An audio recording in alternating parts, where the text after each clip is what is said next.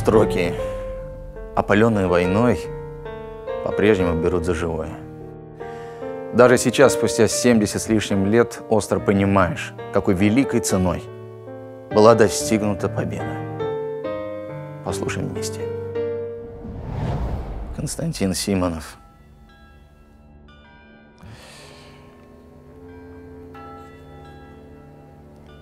Мы оба с тобою из племени, где если дружить, так дружить, где смело прошедшего времени не терпят в глаголе «любить». Так лучше представь меня мертвого.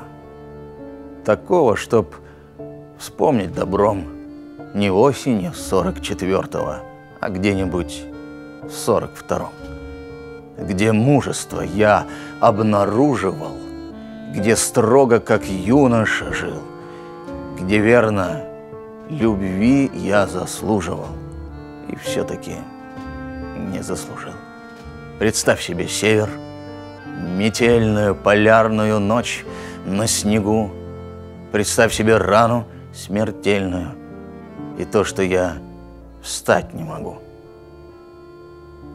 Представь себе это известие в то трудное время мое, когда еще дальше предместия не занял я сердце твое, когда за горами, за долами жила ты другого любя, когда из огня, да и в полымя между нами бросала тебя, давай с тобой так и условимся.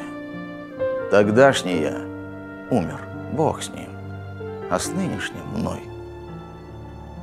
Остановимся и заново поговорим.